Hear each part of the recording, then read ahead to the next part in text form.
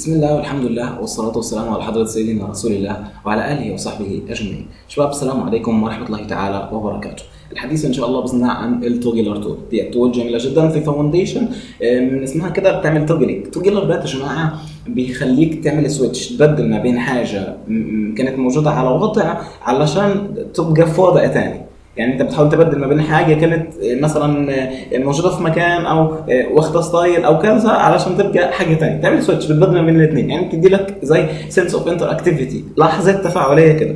ودي تول جميلة جدا يا جماعة. آه، هنبتدي النهارده في ال basics في أول نقطة toggling CSS class ده يعني بمعنى أدق هتحاول ت style CSS class عشان كان موجود في وضعية معينة وتخليه يبقى في وضعية ثانية تمام؟ جيد. okay. إيه اللي إحنا محتاجينه؟ طيب. عندي حاجتين. نركز بالله. الحاجة الأولى العنصر اللي راح يتغير من حالة لحالة ثانية العنصر نفسه. الهدف اللي هو راح يتغير من شكل لشكل ثاني ده يا جماعة بياخد حاجتين اثنين بياخد أول نقطة ID مميز. ال ID فايدته إني أحاول أربطه بالعنصر راح يستدعي التدعي اللي راح يستدعي التغيير اللي أنا هتكلم عليه كمان شوية ولنفرض أنا هخلي الكلمة آه، هخلي ID test يبقى الغرض من ال ID الربط ما بين ال- ال- ال class وما بين ال tool اللي فيه أو ال element اللي هيحاول يغيره. تمام؟ النقطة الثانية راح يحتاج خاصية اسمها data hyphen toggler آخرها E R data toggler data toggler ده يا جماعة بياخد قيمة. الخاصية ال attribute data toggler دي بتاخد قيمة الحاجة اللي إحنا عاوزين نغيرها فيها. يعني مثلا إيه، أنا كنت موجود في ال class menu. أه، تمام؟ أنا عايز أغيره من منيو عادي عشان يبقى expanded علشان أحوله لل class expanded كلنا عارفين ال expanded في في المنيو راح يعمل إيه؟ راح يعمل expanded أنا كتبت ال class بال hyphen بتاعته. آه أسف كتبت ال class بالنقطه بتاعته. تمام يا جماعة؟ okay عشان ده أنا بستدعي ال class by itself تعريفي ليه يعني. تمام؟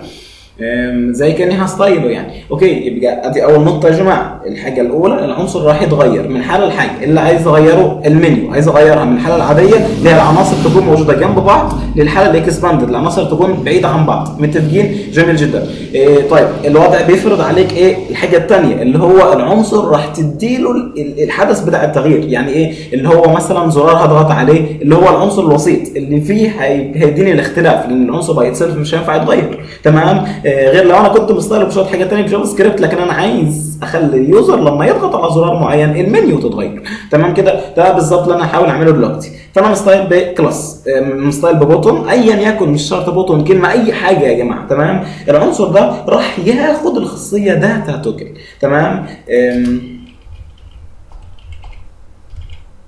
data toggle من غير R يا جماعة. يبقى data R ال event by itself نفسه راح يتغير من من حاجة لحاجة.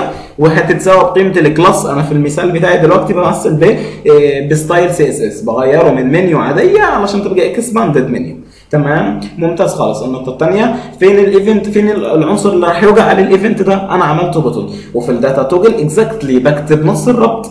للعنصر اللي أنا عايز اغيره ودي فايدة وجود ال ID فعشان كده في ال data toggle بكتب قيمة ال ID يبقى العنصر نفسه في الحالة اللي راح يتغير ليها ال ID بستخدمه عشان أربط ما بين العنصر وما بين ال element راح يضغط عليه ال event ال element راح يستقبل ال event بتاع ال user فاهمني؟